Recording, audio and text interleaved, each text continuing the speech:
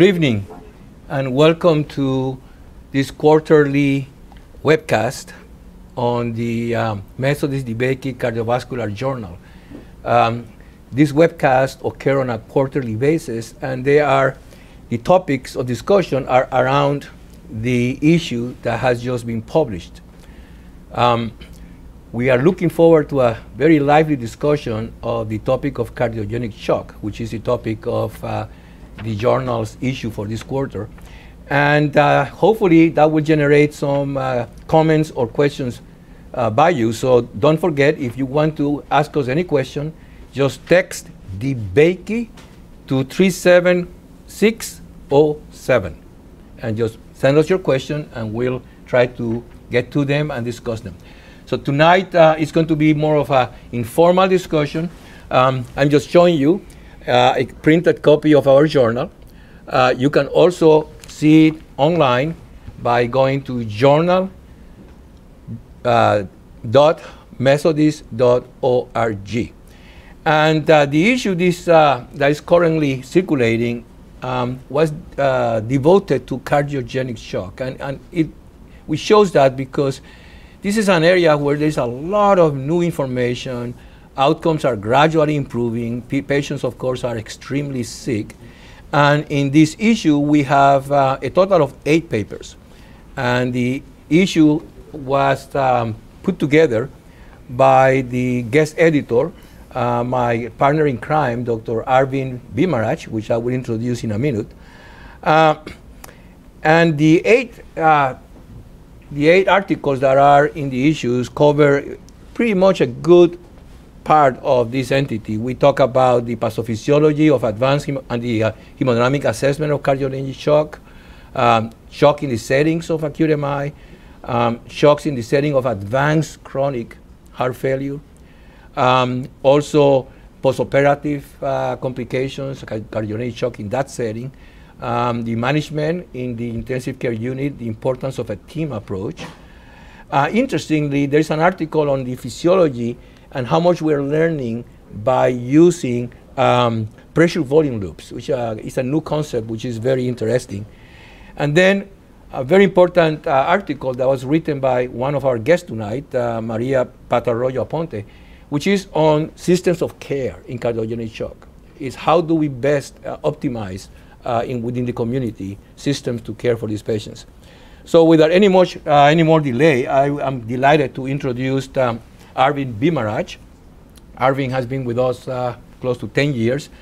Um, he's an assistant professor at Houston Methodist, but he's also the interim chief of the heart failure division, medical director for advanced heart failure, mechanical assist devices, and heart transplant program at Houston Methodist DeBakey and Cardiovascular Center, and a few other things that he does that uh, it would take too long to to bring in. So I'm delighted to have Arvind uh, join us. Uh, all the panelists tonight have been co-authors of uh, the articles that you all can read if you go to the journal. So without any further delay, Arvind, welcome. I hope you're not too hungry. We're going to be here for at least an hour. Thank you. Thank you, And Dr. you intro- can introduce our guest. Absolutely. It's been a pleasure. Uh, welcome, everybody. And it's kind of unprecedented times, and I hope everybody is staying safe and literally learning new ways of uh, taking care of patients, but also taking care um, you know, of education and interaction.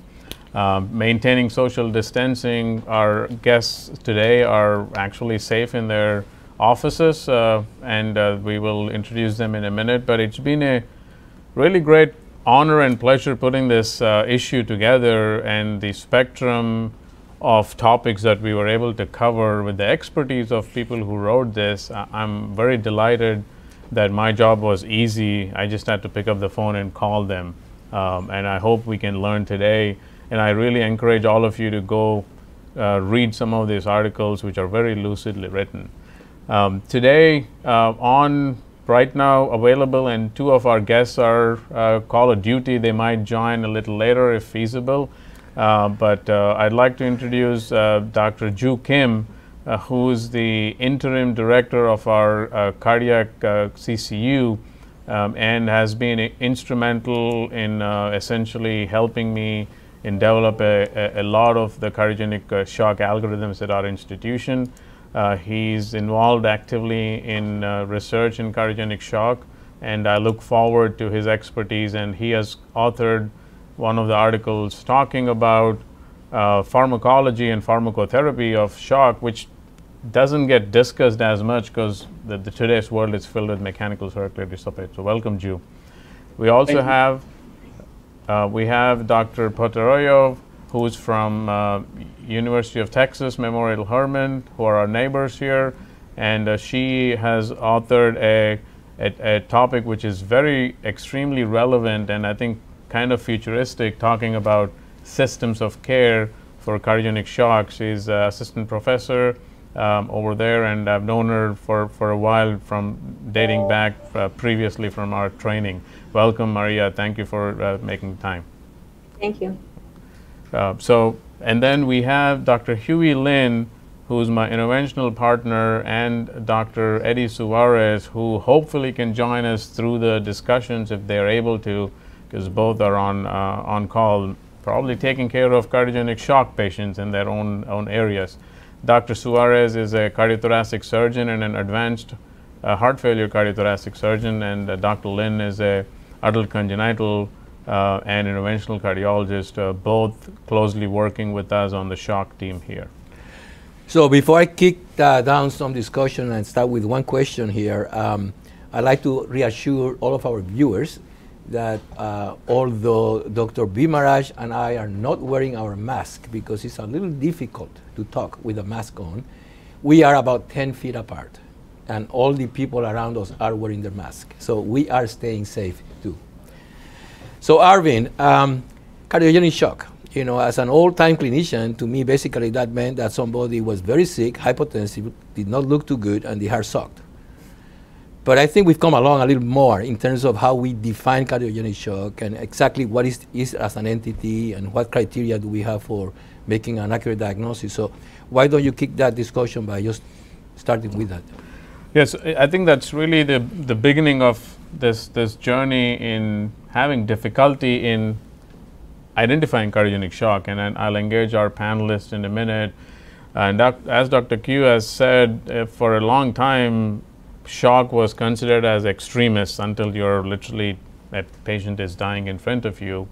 We have evolved to a point where we're learning more and more. And I personally think even the definition of just blood pressure and hypertension, which stems from some of the trial definitions, might not really be, be relevant. And, and there, there's a lot more to learn. Um, and, uh, and, and, let's hear uh, what uh, Dr. Kim and Maria might uh, um, have in mind. So, Ju, what, what do you think a bedside clinician really needs to keep in mind when you're seeing somebody uh, with cardiogenic shock. And while you're speaking, I'm going to, in the background, have a slide which shows one of the SCAI classification, which we can also allude to. In one essence, the classification is not a true definition, but it does define some of the aspects that we'll talk about.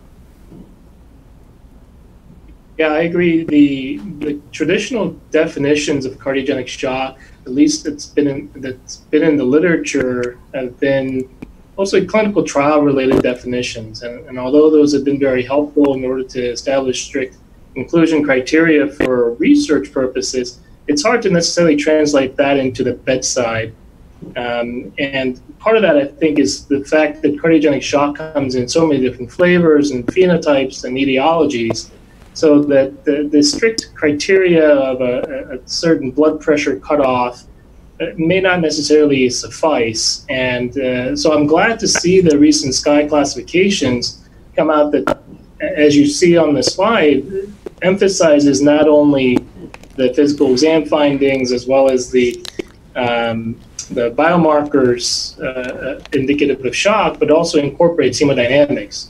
And as a, as a clinician at the bedside, I think incorporating all of those different things will allow you to really accurately identify the, the shock itself, identify the etiology so that you can appropriately tailor the management. No, that's very valid. And, and, and, Maria, to add on to it, being an advanced heart failure uh, uh, practitioner, um, maybe you can allude to and uh, beyond the definition, what are, what your thoughts are on hemodynamics, right? We, we're about believers versus non-believers for hemodynamics. Um, what do you think about the hemodynamic definitions of shock?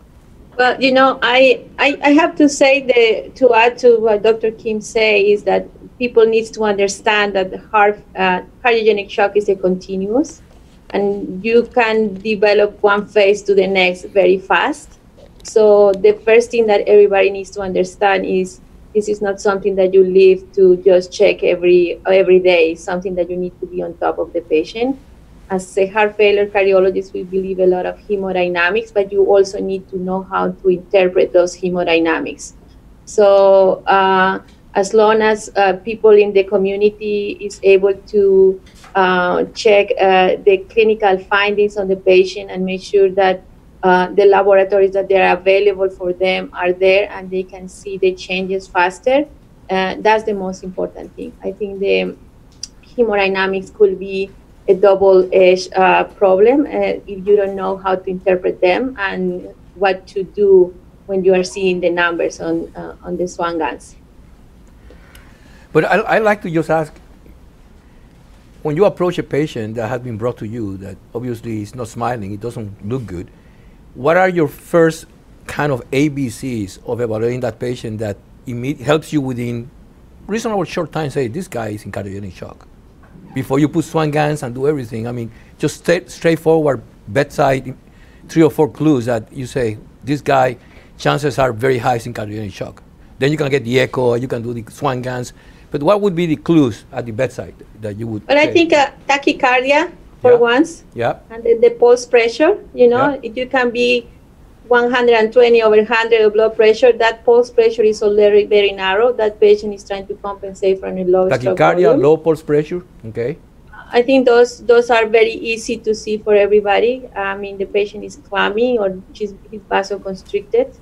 Um, I think that that will be the first two things that you look at. And, you know, I think uh, urine if the patient is making urine or not, that gives you a better idea of what is going on with the patient. That's what I would say. One point really that, fast. Yeah, one point that might be worth uh, mentioning is that um, occasionally, I mean, today, tonight, we're probably going to talk mostly of people who have very bad hearts, for whatever reason. Um, at least for a mo- could be transient, but the heart is not working well.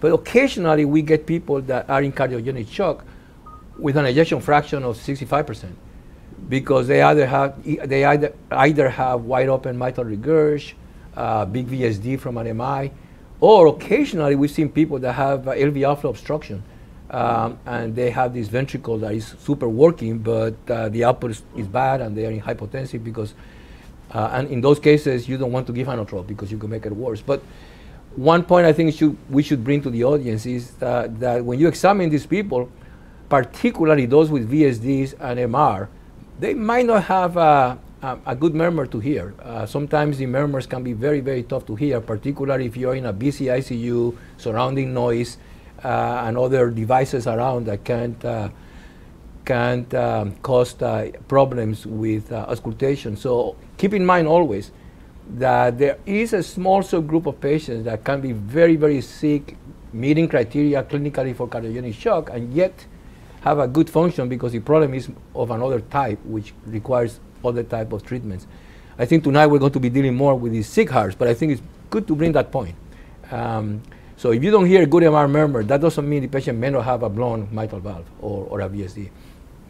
Yeah, and, and I think it's important to recognize that, that there it's detecting cardiogenic shock is a combination of elements and it's about critical thinking and suspecting cardiogenic shock and getting rid of our uh, learning from before that you have to look at the blood pressure only. Right? When you say go go to the bedside, and as Maria was pointing out, um, touching the patient gives a lot of information, and sometimes we miss that.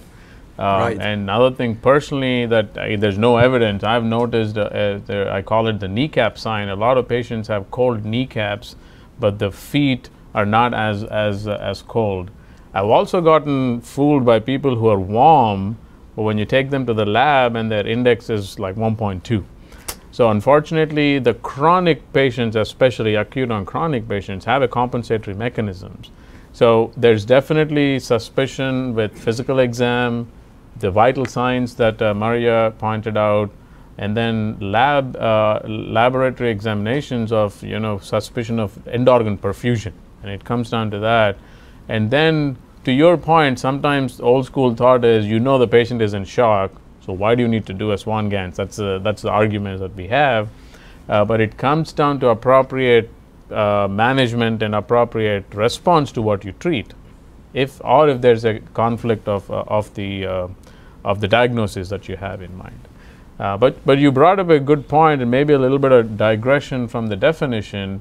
These cohorts of patients who have mechanical complications, when you come in with an acute MI, have an MR, acute MR, um, or you have a VSD, those need a high index of suspicion. And I think timely, I see Dr. Suarez as able to get off from his call of duty and he's, he's joined in um, he's our, our surgeon extraordinaire who does hearts, lungs, heart, lungs, and VADS. They've been very busy. Thank you, Eddie, for making time for us. Uh, but this really comes down that discussion. I have a patient who came in post MI. I'm suspecting acute MR. The guy is hypotensive. The first thing that comes to my mind is, where's my surgeon? This guy got, got to go to the OR. But we always talk about how sick they are that they won't make it out of it. And then comes the question how do you support them? So, what are, what are your thoughts in somebody in that cohort of patients who have mechanical complications after acute MI? How do, you, how do you think we should support them so you can actually operate on them successfully? It depends on the, the etiology. Like, I mean, having an echo, having the you, you guys help with the diagnosis is, is, is primary. Obviously, someone has uh, a, a, a wide open AI versus someone who's got like a post-op VSD, you, you can manage it differently. Someone who, who, for example, someone who does have a VSD before, we used to not uh, use something such as an Impella, something that would, would help with the uh, uh, with the cardiogenic shock out of fear of shunting. But now we've learned that we can we can do that. Whereas someone who has like you know wide open AI, I get very concerned for using something mechanical such as an ECMO or, or very many options. It, it, limits the options you have. So the etiology of, of the of the cardiogenic shock is is is primary. What is the mechanical um, deficiency that's causing them to, to be in that state? But someone who's acutely sick, you don't have any time. Obviously, I think you and I both know the the mainstay for us has been ECMO if they're an appropriate candidate. Veno arterial uh, ECMO helps, even though it may not help the heart much it does support the body and it, and it uh, takes over for the circulation where the heart can't. And can put in bedside and can be put in quickly. Um, that's usually how I go about it. So I, I since I played the role here of the uh, um, all-time clinician, I grew up at a time when we uh, didn't think twice about putting a Swan Ganz. And um, Maria made a very important comment earlier when she said, you know, managing cardiogenic shock is not the type of patient that you see in the morning, then you go to your clinic and you see them the next day. This is really a moment by moment decision making in how you manage them. And I always found that the Swan Ganz catheter gave me that information that without it, you, you felt like you, I didn't know what was going on. Then recently now, trials came out and they threw kind of like a cold water on the whole thing because they said, well, the outcomes are not any better. In fact, they could be worse. So so where are we in, in, in, in this uh, type of uh, controversy? Do we pass a SWAN or not? I like to, but now there's data that makes me think that maybe we were not doing the right thing. Arvin and par, par, uh, panel, what do you all think? Joe, you want to you want to address? So I think I think uh, we actually have a question that's coming in from the audience, and that's probably relevant. Oh to, yeah, there to, it is. Swan or no swan, actually. Yeah, swan or no swan. Perfect. What is your opinion on why the utilization of swan Ganz catheters has not really been widespread in cardiogenic shock? I think it stems to a lot of these discussions we are having. Oh, I I would certainly favor on the on the side of swan, but I think Dr. Arroyo made a made a good point earlier that it's it's fine to have a swan Ganz, but what's more important is accurate assessment and interpretation of the data. And I think part of the the hesitance of using a Swan-Ganz catheter may be related to the fact that not not everybody is familiar uh, with the intricacies of uh, managing a Swan-Ganz catheter, identifying which hemodynamic parameters are most relevant. But it, I, as we're discussing here, a cardiogenic shock comes in again so many different phenotypes that I really truly believe that accurate hemodynamic assessment is crucial to truly identify exactly what the uh, the, the shock is from, and it, it, it, really does help you guide the, the management of it. So uh, my vote's always for a swan. Uh, I, I, really don't see uh, harm from it. So, so maybe and, and, and before you know, you made a very important point because it's not passing the swan; it's knowing how to measure properly, very importantly, and how to then assess those hemodynamics, interpret them appropriately for decision making. I may add, the same thing is for an echo. Everybody in the CCU that doesn't look good gets an echo. Doing it is the easy part. Having an accurate interpretation is the same as a swan. You know, to help you guys, the person interpreting that echocardiogram really has to have the expertise to likewise because there are subtle things that can be happening in an echocardiogram in somebody cardiogenic shock that if you are not careful, you can miss. So uh, I think with any of these techniques, it's very important to make that point. You need to know and how I'm to sure use them, you need to know the, how to the interpret them, and, and then you can get proper uh, value of it. However, the problem is that we assume that the trials that were done with and without SAM, uh, swan Ganz, um, hopefully were done by people who knew how to use swan Ganz.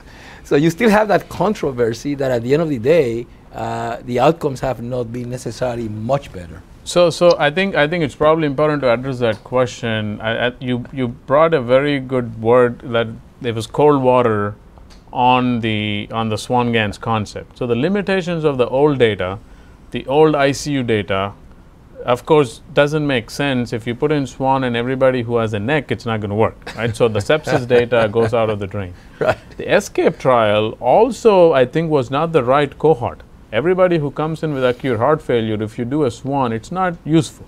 Right. And if you go to go be purist and look at the guidelines, the guidelines actually very clearly say do it in people who you think you need to the bad press that comes with Swan, as reflected by everybody, is if you don't know how to use the information, I call it garbage in, garbage out, you might be the smartest. The wrong information will make you do wrong decisions. So with, with that, I actually let's look at this slide and maybe I, I, I'm, I don't know if Maria, if you can see these slides. Yeah. Um, the one that I portrayed with the with the Swan-Ganz, you know, and, and this is a simple thing. When you have the monitor that's showing up uh, on the on the screen, um, you have two indexes of cardiac output, right? You have a saturation in this slide that's showing 82%, and then the output is 6.2. That's probably uh, similar. But there are times where you walk into the unit and that venous saturation tells you 92%, but the index that's coming up is 1.2. So now already you have a disparate information. What do you trust? How do you troubleshoot when the two outputs are off? Right. So so it's it's accuracy of the information. The question becomes maybe one of you can, uh, talk, uh, Maria, you can talk about what how do you use the output information, and if you need to confirm it, how do you verify it? Well, uh, you know, I I think cardiac is it's a little bit tricky you not to know your patient. I'm going to tell you an example. I had a patient with a VSD, and I come to the ICU, and the saturation on the monitor is 82. If I get the PA catheter, it's going to be 82. So I have to ask the nurses give me the CVP saturation. Obviously, there's a churn, a step up on the saturation there. Right. But it, let's say that it's real, there is not a shunt or anything there. I usually prefer to uh, check the saturation and then adjust it. Um, now, I have to say that's not a perfect um, definition, uh, not, a perfect measure if you account that metabolic changes are happening in ICU and your Fick is really not a, a perfect calculation on those patients. Uh, but I think more than one measure what you need to do is the continuous and what is happening. You know, you cannot go from 80 to a minute and not do any intervention and then be 50 if nothing happens. The same way you cannot be 30 and not changing anything and be 60 later. So also I think it's not just the cardiac output. In, in, in when you have a Swan-Ganz, you have to be uh, careful on all the parameters because all of them are going to be equally important.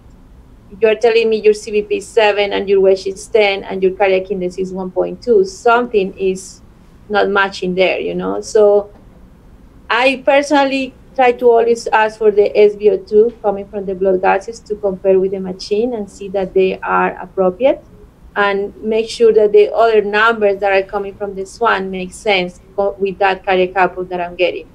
I don't know what the other people thinks. So I think those are excellent points, but to add to Dr. Quinones' point, a Swan-Ganz catheter is not a treatment. It is not aspirin. It is not a beta blocker. It doesn't do anything to, to, the, to the body or the person. The treatment is the physician. The Swan-Ganz and like an echocardiogram, they are diagnostic tools to assist the physician.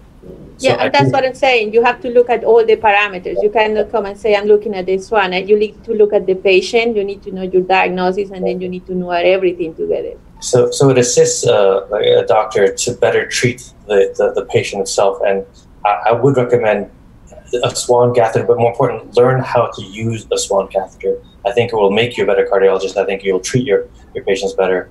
It'll think, make you a better physician. And, and that's, that's for me the, the takeaway. It's not the swan that treats the patient, not the swan that makes the, the patient better. It's a doctor who knows how to use use it. It's a doctor who knows how to use the echocardiogram to, to make better decision, informed decisions. That's that's what makes the outcome better. So, and Arvin, if you if you can show the, I think the next slide that you have, uh, I think it's slide number four. Uh, I think perfectly illustrates this point.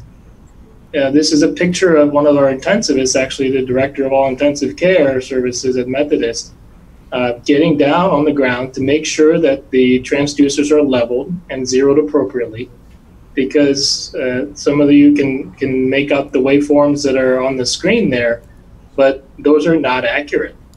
So you can walk in, glance at this, uh, you know, just the numbers, and think, "Oh my goodness, the CVP is 18."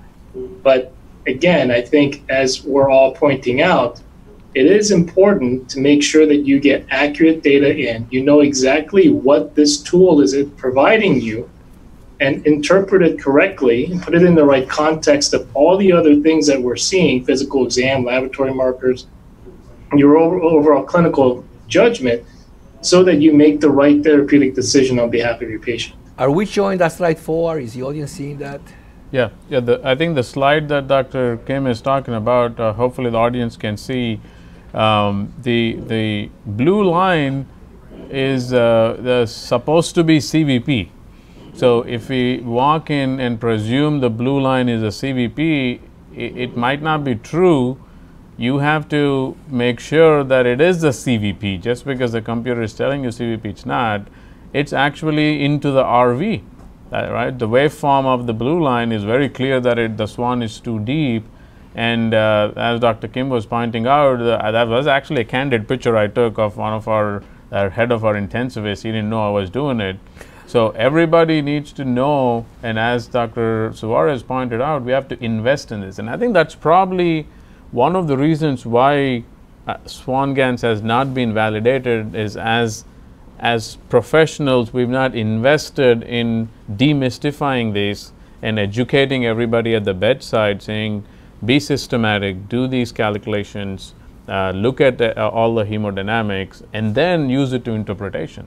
So hopefully that culture is changing. And to go back to what dr quinones was pointing out there is data that's emerging the Detroit Shock Initiative and uh, some of the MCS data that uh, the Impella guys are, uh, have, the databases are actually showing that if you have a Swan-Ganz and you treat them with, with Swan-Ganz guidance, you make better decisions, which is in fact translating into better outcomes. So I, I can see the time where it'll become a, a, recommendation that if you're treating cardiogenic shock, you should treat it with, with the Swan-Ganz catheter once we invest appropriately. So we want to be sure that we do have enough time tonight to get into treatment because obviously there's got a lot of important things. But before we do that, I'd like to ask the following question because it does reflect treatment. So we could divide cardiogenic shock into two broad categories. Acute, you were healthy until the day you had acute MI. Bang, now you're in cardiogenic shock.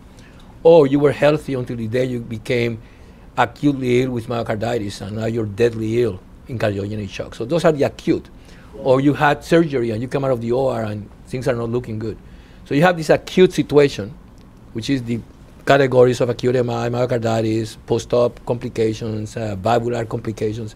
And then you have the other big group that is growing, which is chronically sick people, heart failure, that then advance, advance, and now they're coming in a level of so advanced that they're in cardiogenic shock. So anything known about how the frequency of these entities, number one, and number two, uh, do the managements vary a lot?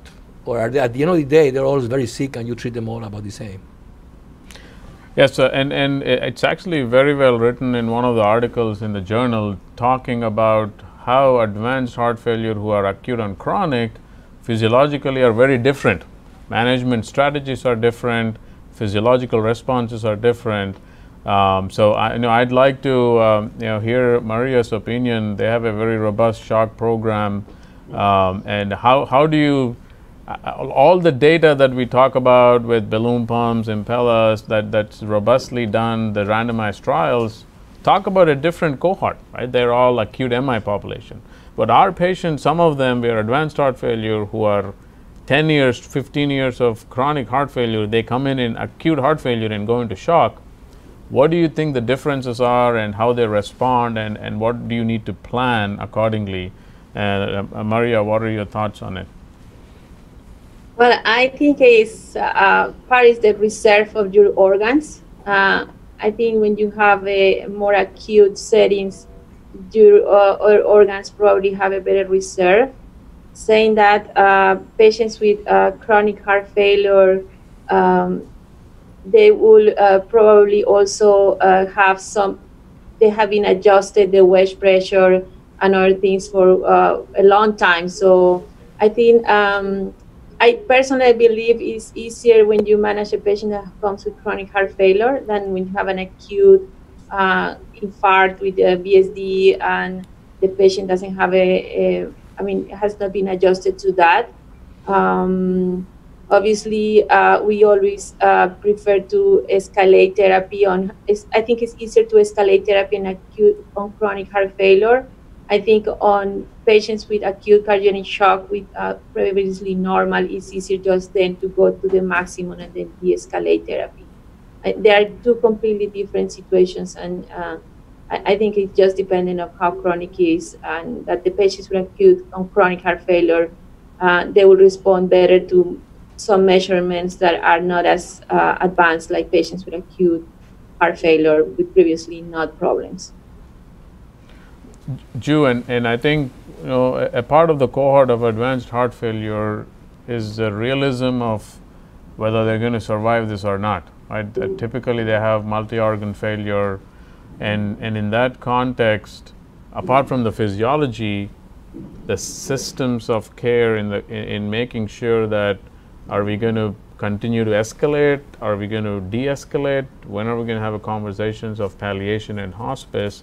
Um, and uh, Ju, as a ICU director, you're all the way in them. Uh, what are your thoughts on how to incorporate these tough discussions? Because on one hand, we're always we don't want to give up on patients appropriately, and everybody looks sick in the ICU, so you can't say they're sick, so we're going to give up. But on the other hand, practically, where do you draw the line?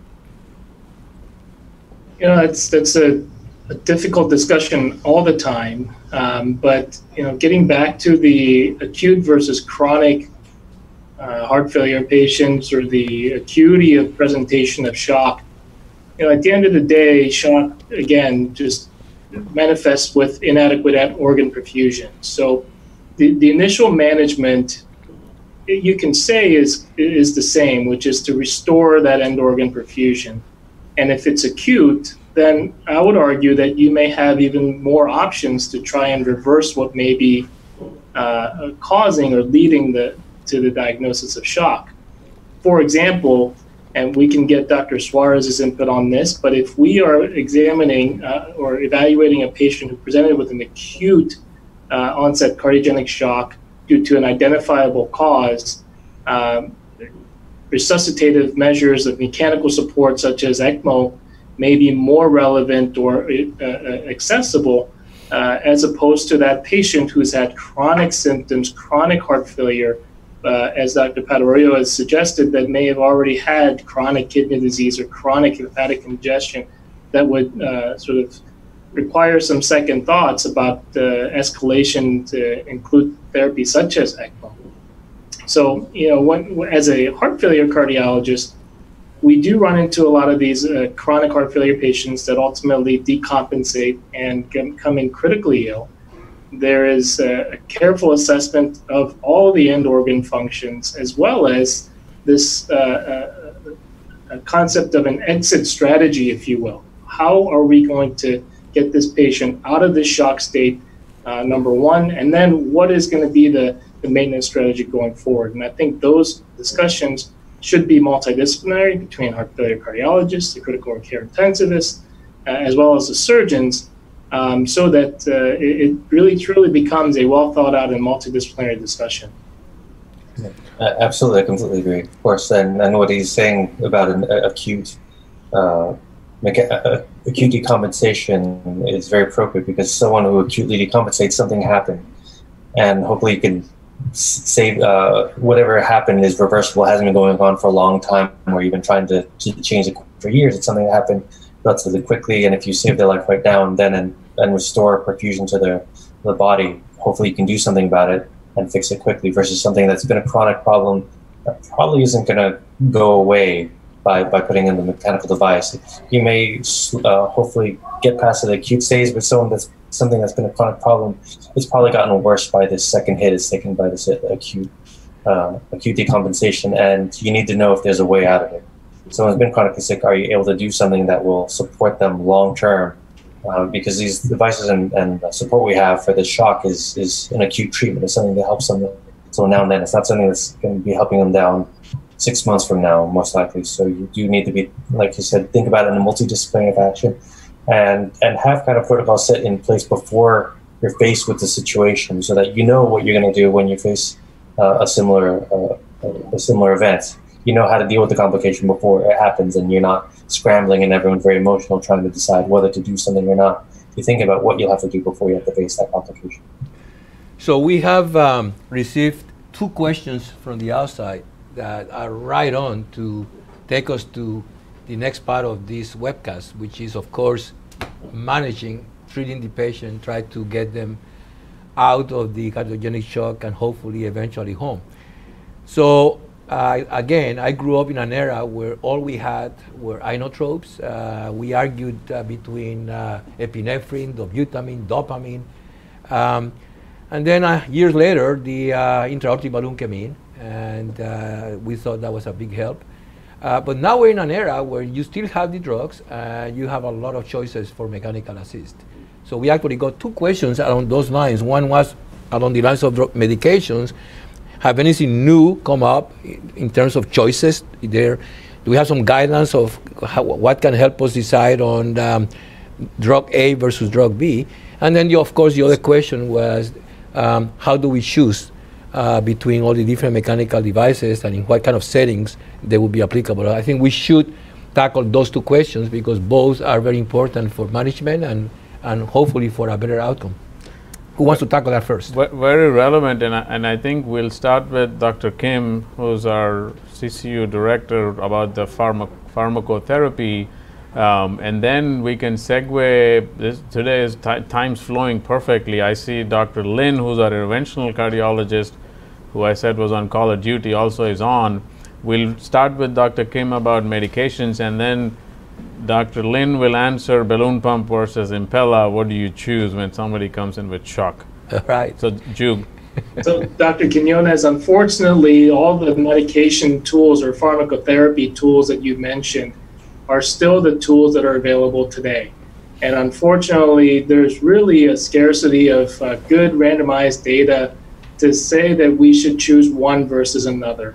And, and, and again, I think it all comes down to you know, good identification and interpretation of hemodynamics to guide which agent is first. So if you get uh, invasive hemodynamics that suggest that uh, uh, the, the, patient actually has more of a distributed form of shock, for example, and the SVR is very low, perhaps a, a vasopressor agent may be the first thing you, you reach for. Um, as opposed to if it's a truly a cardiogenic only component of shock and the SVR is very high with a low cardiac output and elevated filling pressures, then perhaps you'd be uh, uh, uh, led more to the inotropic agent as the first support. Um, so unfortunately, there, there really is kind of this scarcity of good data to say that this should be agent number one, this agent should be number two. It really does come down to the clinical assessment and hemodynamic assessment to guide. Is there is there any room for a cautious use of vasodilators? And if so, which would be the setting that you would feel it would be more appropriate, if any? So I, I think vasodilators will get tricky, but I think there's a role in vasodilators of in, in, in patient in, in situations what I call as probably hypertensive shock, and that sounds like an oxymoron statement. but we all do that and if somebody's index is 1.2 and an SVR is 3000 I think those are individuals despite a map which is not that high there's an option probably to use nipride and, and there's some studies related to that um, but coming back to uh, uh, Ju's point data is limited for what mm-hmm. it's worth I think SOAP and SOAP 2 are kind of two studies which were more in a shock realm, but when you look at sub-analysis, in cardiogenic shock, interestingly, uh, norepi showed a little bit of benefit. But it comes down to practicality, and we don't talk about it as much, but if you're in an ICU and somebody's blood pressure is 70, it doesn't matter which one, there's no evidence. Get what you have next to maintain the blood pressure. But what's being very well validated is don't presume it's going to work and leave them on pressors. Right. MCS has become the mainstay, but in the short term, you have to do what you have to do and then very quickly move on to mechanical support because uh, uh and then we'll talk a little about MCS and choices which will, is the next discussion that Huie will address but I think we've learned that we've spent all our life about shock and the rest of the body we talk about urine output liver brain but by putting in a mechanical support, we're trying to rest the heart. I think we have forgotten about myocardial energetics. We've forgotten that the heart's getting beat up when you're in shock. And uh, you know, with that, actually, what was the choice? There's so many mechanical supports now. And, and, and the slide that I have up there shows a few of the percutaneous supports. And maybe Huie you can, uh, Dr. Lin is our uh, interventional cardiologist and adult congenital director of our adult congenital program. Um, he's doing this daily. What would be your choice of support if uh, it comes to an individual who's in shock in front of you? And maybe that can be broken down into STEMI in the cath lab, or you get called to the ICU or to the ER. What would you do? Yeah, and, and I think the answer to that is very contextually based, right? So I think um, first we'll talk about it from sort of a scientific slash cardiac output and requirement standpoint.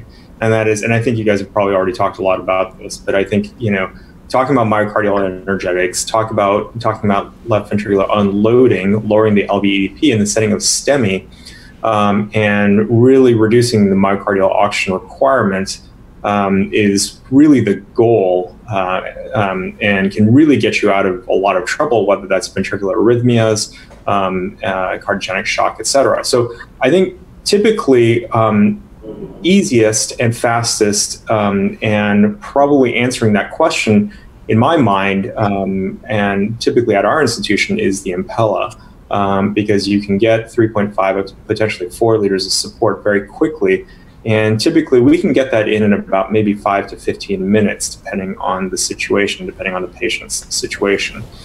Um, so I think from um, from a scientific slash data slash um, thinking about the patient standpoint, that's kind of where I would lean towards, um, especially because I think a lot of people are leaning away from intra-aortic balloon pump for acute cardiogenic shock and STEMI. But on the other hand, I think it's also very important to think about the individual operator. Um, I think the first question is, you know, what's what does the patient actually need? The second question is, what is the individual operator capable of doing? and when is it um, time to call for help? So I think if the individual operator is not going to be comfortable with large bore access and potentially going to spend you know 30 minutes to an hour trying to put in an Impella um, and then have a vascular complication from that, I think that that's not the answer. I think the Impella is not the right answer for that operator for that patient. I think the answer is what are is the operator able to put in, and probably most operators can put in a balloon pump and then immediately escalate care. So whether that's transferred to a center that can be capable of um, additional um, advanced therapies such as durable mechanical support um, or uh, Impella or tandem heart, et cetera. I think there are other unique situations where I think um, um, other devices like the tandem heart can be very helpful. And for us, um, at least in our environment, I think that that's been very helpful for patients who have additional issues, such as, for example, a, ventricular septal rupture in the setting of ST elevation myocardial infarction. Um, other situations where we found it helpful is, unfortunately, we have patients who also have um, concomitant mitral stenosis and other mitral um, uh, abnormalities, where you can really get rapid left atrial unloading. and I think the other really nice thing uh, about uh, a system like uh, like Tandem Heart is that it allows you very quickly to sort of convert to um, uh, oxygenation as well when that becomes an, uh, an issue. Um, and uh, so then I think the third area to talk about is when you really need to consider biventricular support. And again, I think it really becomes important um, for us to separate you know the theory from the practical reality. I mean, I think the theory is that if a patient has indications of going into right heart failure in the setting of uh, acute STEMI cardiogenic shock, and left-sided support is not sufficient, you know, the operator has to think a lot about what are they going to do to get them right-sided support. Right-sided support can be challenging for patient for operators who don't typically use right-sided support. So Impella RP can be challenging to place. ProtekDuo can be challenging to place if you don't typically do cannulations. And you don't typically place, you know, 31 French devices in the uh, in the pulmonary artery. And so I think it's important to think what's um, theoretically necessary, which is to address the right side of support issue. But I also think that it's also important to think practically. So if an operator is only comfortable with um, medium bore access, only has experience with an intra-aortic balloon pump, then that's what you've got intra-aortic balloon pump, package the patient up, transfer them to a tertiary quaternary center, or call in another operator who is comfortable with um, more advanced mechanic, uh, percutaneous mechanical support. I do think you know transferring to a tertiary quaternary center is probably you know something that should be on the back of everybody's mind when um, if they're on their own and they can't do any of these other uh, additional mechanical support devices. Um, so important to always think what are my own personal limitations, institutional limitations, limitations of what's what's available for resources at that particular moment into the context of the patient needs, and then what are the other resources that are available around you, and how do you upgrade to that?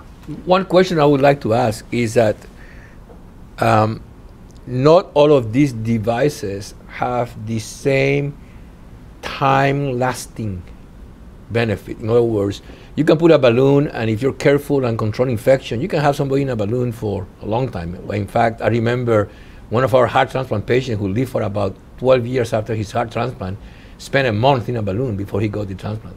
So we can do that. But in Impellas, maybe you can do a week.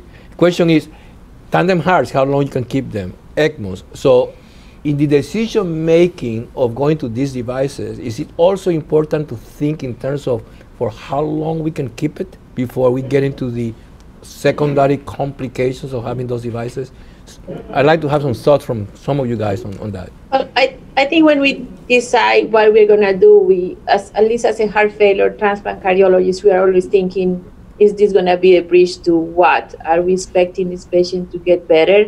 Yeah. Are we expecting this patient to require something else? And is that patient going to be a candidate for that? So uh, whenever we, we start to do this mechanical circulatory support, uh, we have to do it for the patient right away. But at, at the same time, we are thinking, uh, is this a bridge to something? Or this is just uh, something that is not going to take the patient to any point? Because, you know, at least um, that is important also when you talk about resources.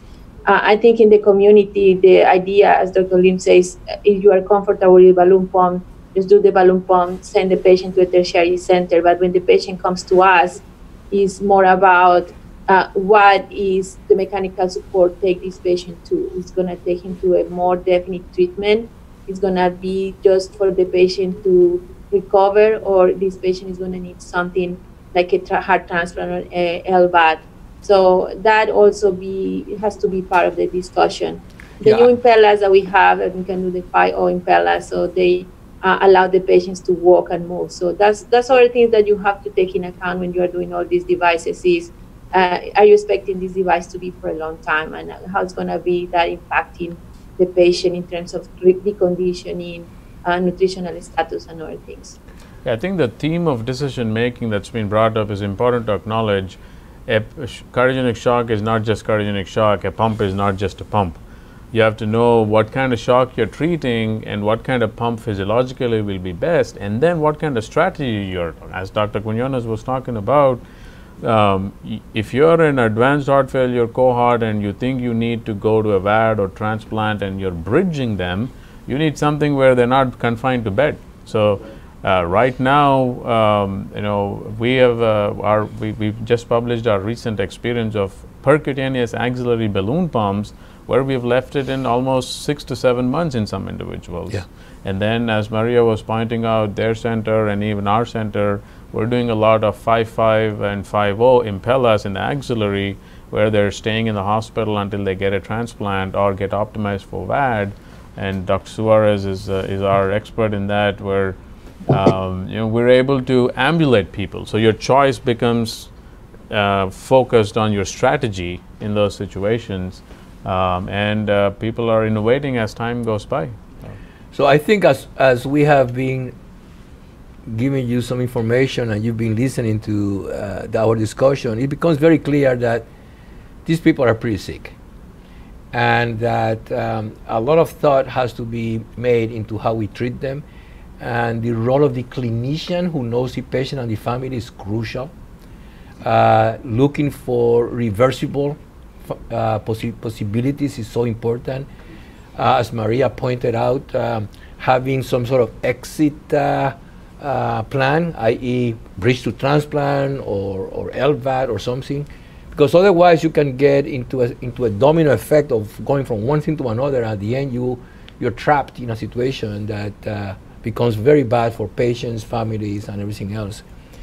The other thing that it has become very clear is that management of these patients require a lot of expertise. And it's hard to always be able to do that in a 100 bed small community hospital. Which brings us to this important topic that we wanted to cover tonight, which is what are the evolving thoughts in system of cares and how should we, a community, be prepared to manage this kind of uh, very sick patients? And uh, Maria took, tackled that uh, topic in the journal. you wrote a beautiful paper on that. So we'd like uh, you to give us some thoughts on that because I, you have given it a fair amount of thought to it. Well, um, so you know, uh, I think this is uh, something that is relatively new. Um, it uh, requires a lot of education, and I think that was the most important part of the topic. Was education is important, and is education to recognize when you have to move the patient to another uh, another setting. Uh, it's difficult because, as we have mentioned before, cardiogenic shock can present on a different mix. Um, and it's not like the ST elevation MI that you have something that is uh, unique that you can uh, immediately evaluate. But it comes about education in terms of how to recognize when the patient is not doing well, how to recognize that that patient needs further escalation of care. And then beyond that, it requires to have the ability to transport those patients. Uh, and it, it has the ability of uh, having um, also uh, families involved on that. Uh, geographic areas, some geographic areas don't have anything around, and then it becomes cumbersome for the patients and the families. Um, and you know, I think at the end it comes about uh, all of us be able to uh, recognize that, and I think the SCAI classification help us a lot. Uh, it's more for people in the community to understand this. This is where you are. This is where you can go. And if you are moving from one stage to another, maybe that's the time to move and send the patient out. The the problem will become when everybody comes to the tertiary center, you know, because obviously we have certain amount of uh, capacity, and getting those patients that are not requiring that much support can just take the capacity for patients that require other support. So it, it has become a problem. I think uh, it's more about people recognizing when the patient is in some type of shock that can still be managed in the community and when the patient is progressing to something that requires more advanced therapies. Um, and obviously don't overwhelm the tertiary centers with patients that really don't need uh, too much of the, that care. So it is it's a little bit of uh, complicated. Um, we try to uh, explore what are the experiences in our centers like Arizona and how they come with certain uh, algorithms to decide if this patient appropriate to come to the tertiary center, that is this patient able to stay there. And I think at the end will be communication, you know, if you, the tertiary center can communicate with other centers and give them some guidance and go along with them on the management of the patient, that also will help not to overload us, but also to transfer the patient that really need to be here, not too late or not too early. That uh, you don't know, we don't know what we're going to do with it. So with the COVID um, pandemic, um, we have learned a lot about uh, managing patients uh, through virtual management. And here at Houston Methodist, actually, we start we started the program of uh, the virtual ICU, where we have uh, an expert ICU physician managing multiple patients in a, in a virtual uh, fashion. Is this an area where this technology could really help support these smaller hospitals, uh, helping them make the right decision as to when to transfer and whatnot? What's, what's going on in the development of this type of virtual technology in a, in a community like Houston or, or any other city? Well, I think COVID uh, in, uh, teach us all that we are not that advanced on that on that part of the telemedicine to be true. Um, I think it, it, will be helpful. You know, I think it's helpful when we communicate and when we su- support other people in terms of knowing what is going on. I think once the patient is going to mechanical support uh, because it's a technical uh, issue and re- requires some expertise, that patient should be moving from the place they are. But you know, is is uh, is I think it's important communication. Try to see what is going on. Try to give some guidance, and then see if the patient is improving or not so it requires a lot of care and a lot of uh, time from both centers. But uh, yeah. yeah. I think we are very uh, not, we're not very advanced on the telemedicine part uh, as much or as much as we wanted to be. So Arvind, I think you, Arvind put a slide. I don't know if the audience can see it, but you may want to take us to that slide because it's kind of like a conceptual slide of. of yeah, I think I have the slide up which Dr. Patarroyo has in her article, which really describes what she was talking about. And I think to add on to what she said, it's really incumbent on organizing care for for shock because um, and and think not just at an we're talking about shock teams within an institution which is extremely important but beyond the institution i think shock needs to be organized at a multi-institutional level with policy which drives care and, and unfortunately if, a, if an individual ends up in a, in a hospital which has minimal mechanical support, say even in STEMI, and that's happening today. It happened personally to, to one of my relatives uh, in a STEMI situation who the facility just had a balloon pump and it was not used because there's no evidence and then essentially acute MI, you pass away on a table. That is a situation where policy should drive bypassing an institution to be able to go to a place where you can deliver the right care. Uh, so I think this model, which reflects that you can have different levels of care and organize care in institutions which can be certified that you can provide certain amount of care also needs to be a policy level, and I hope that will come as time goes by because there's more and more evidence that's coming up that organizing care helps. Uh, that's what Detroit Shock Initiative has done.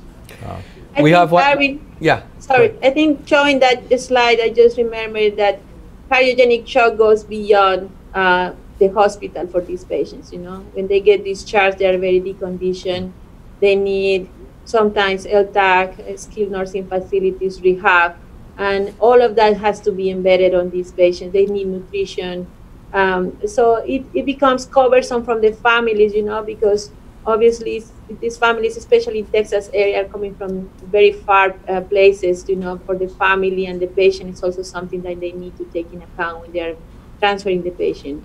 And um, that is not. It just want to show that it's like that everything on cardiogenic shock doesn't stop just with discharging the patient. It requires further care, and probably that care sometimes is going to be more prolonged than just the hospital care. That's a very important point. I'm really happy that you made that. Uh, patients survive, we all feel good about it, we pat ourselves in the back, and then patient goes out, and if nothing is done to support them, they, they, can, they can do very poorly. Uh, so I, I'm glad you mentioned that. That's a very important point.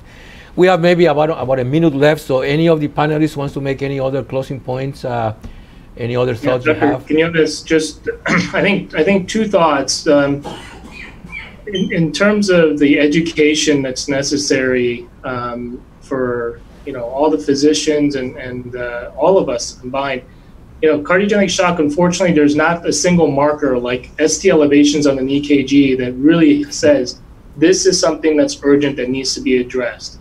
So I think uh, education in that standpoint is important to address your point of the incorporating virtual ICU and these telemedicine uh, capabilities, I, I think there is going to be a role for that. We're, we're planning at least uh, to incorporate telemedicine uh, ICU capabilities in system hospitals throughout, for example, at Methodist, so that we can actually go in and identify those patients early and triage them appropriately and get them to the tertiary or quaternary center um, so that we can uh, provide the appropriate level of support. And then the final thing is, I think it's important to note, at least here at Methodist, that the cardiogenic shock is treated as a team approach. And there's a cardiogenic shock team that's composed of an advanced heart failure cardiologist, a heart failure surgeon like Dr. Suarez, a critical care intensivist, and, and a uh, interventional cardiologist. So there's at least four different physicians representing uh, different uh, uh perspectives so that we get together, assess the, the patient, identify the appropriate form of shock, and so that we can come to a multidisciplinary discussion as to how best to, to treat that patient. So I, I think those are all important things to, to note for, uh, for going in the future. And for people out there also, an extension of that, I think the multidisciplinary approach has shown that it improves outcome. People do do better. And now extending that concept to multi-institutional where you do have system processes, like Dr. Quinones was saying, you'll save someone, but if you send them out somewhere where they don't do well, that's a failure as well. It's something we can do better. And so if you're out there, it's, I mean, trying to, to extend out uh, lines of communication is probably the, the, most important thing to really take the next step up in, in improving how people do.